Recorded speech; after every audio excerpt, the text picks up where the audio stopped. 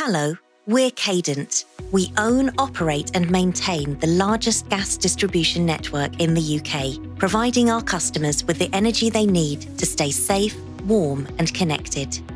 Once we've replaced or repaired our gas main, our reinstatement team will come to fill in any holes and restore the road surface as quickly as possible. We have to put signs, barriers, and sometimes temporary traffic lights up to keep our workers, pedestrians, and road users safe.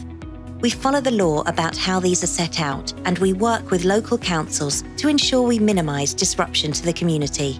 For planned works, we install signage that gives as much notice as possible to help avoid frustrating delays for motorists. Our work is often performed in stages, which can mean multiple visits before it is cleared back to normal. We know this can be frustrating, but it's part of the process to minimise the impact we have on the environment. During our on site work, over 95% of site waste is diverted from landfill through recycling and reuse. Sometimes we may need to allow time for the new road surface to set so it's ready for use.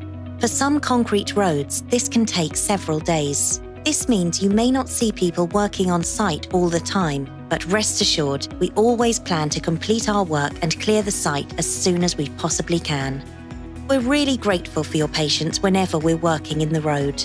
If you smell gas or spot the signs of carbon monoxide, call us free on 0800 111 999. All calls are recorded and may be monitored. Do you need extra support in a gas emergency? The Priority Services Register helps energy companies like us look after customers who have extra communication, access, or safety needs.